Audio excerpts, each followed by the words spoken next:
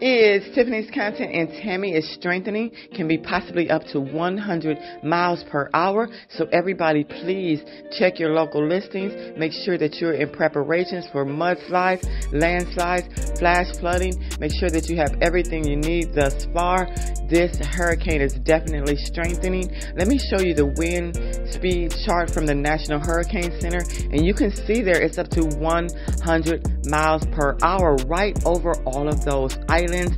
And currently, if you look at the National Hurricane Center, a lot of those islands for the upper Antilles is definitely on hurricane watches and warnings. So you can see there in the red, we have Guadeloupe, we have Antigua, Barbuda, St. Martin is even in there. There are definitely a lot of islands that can be affected with 100 miles per hour wind speed, and this can definitely mean a lot of damage for those islands. I really didn't want to go on today and make a video because people are really going through you know, a tragedy right now, and I do not want to seem like I'm capitalizing on that tragedy, but I have to go on to give you the latest updates right now, and we're looking at up to 100 miles per hour hurricane, and you can tell right there that right over all of the islands definitely have hurricane watches and warnings set for right now. And this may become stationary right over Anguilla, so you never know what can happen.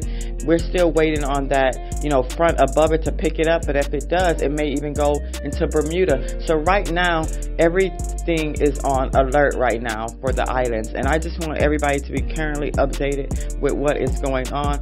It is very important that you stay tuned to your local listings and make sure that you are following information from your local listings and not just the YouTubers because we are definitely just getting the word out, but your local listings and stations will give you the proper information during real life times like this.